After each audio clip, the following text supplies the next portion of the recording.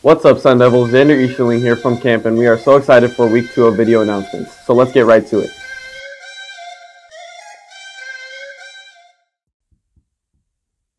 Hey, hey, you.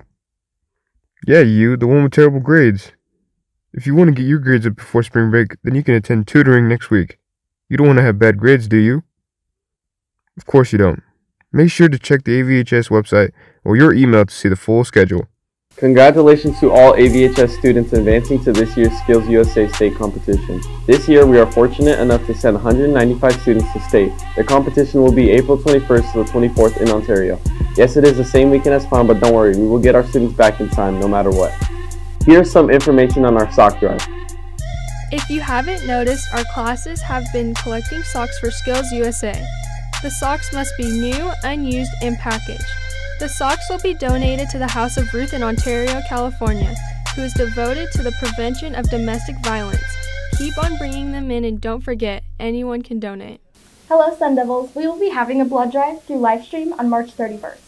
We would love your help, especially during this national blood shortage. We will be doing appointment sign-ups every day at lunch in Sun Devil Circle.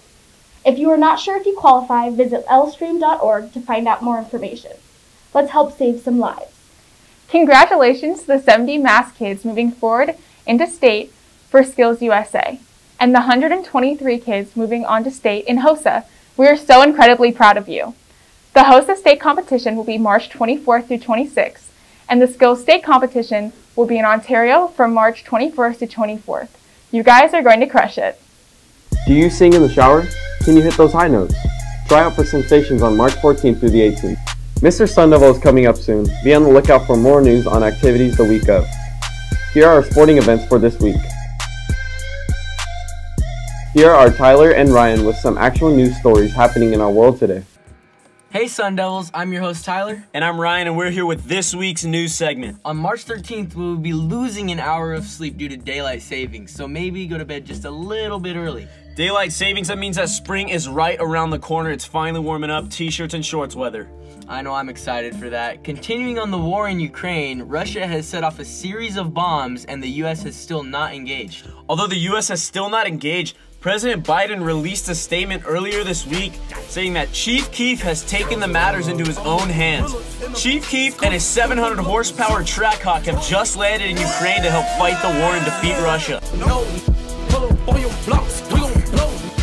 That's all we have today for you, Sun Devils, and we'll see you next time. The Nintendo Switch has been the best selling console for over five years. This massive success was a serious threat to other console manufacturers. Recently, though, Valve announced their answer to the Switch with the Steam Deck. Their Switch like design allows you to play any game available in the Steam library right in your hands. Windows also works on the Steam Deck, opening the door for infinite amount of possibilities for the users. Our must see movies this month will now be presented to you. The first on our list is the highly anticipated movie The Batman Movie, starring Robert Pattinson and Zoe Kravitz, coming out on March 4th. Coming to Disney Plus on March 11th is Turning Red starring Sandra Ho. Next month, we expect Lightyear coming out on June 17th and Doctor Strange in the Multiverse of Madness coming out on May 6th. It's time for our teacher dance of the week for this week. It's going to be Mr. Hernandez doing the moonwalk. Up next is this week's TikTok of the week.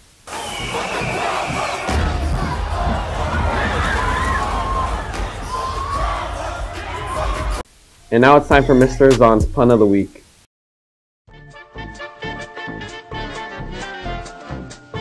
Hey Marissa, What's up? did you hear about all the animals who broke out at SeaWorld? No. It was utter chaos. With St. Patrick's Day coming up, the only acceptable day to wear green on campus. Here's a special on Irish Heritage Month. This month, we celebrate Irish American Heritage Month. Established by Congress under the presidency of George H.W. Bush, the first celebration of Irish American Heritage Month occurred in March of 1991. In his proclamation this year, Joe Biden has this to say Irish Americans expanded the American middle class, building ladders of opportunity that future generations could climb.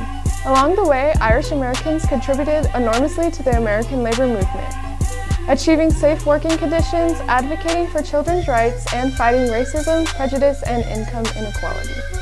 Notable Irish Americans include Sandra Day O'Connor, the first woman and Irish American appointed to the Supreme Court, 35th President John F. Kennedy, the first Roman Catholic president, and even civil rights activist Martin Luther King Jr., who has ties to Ireland through his great grandfather. Make sure to enjoy corned beef cabbage this St. Patrick's Day. Please stand for the Pledge of Allegiance.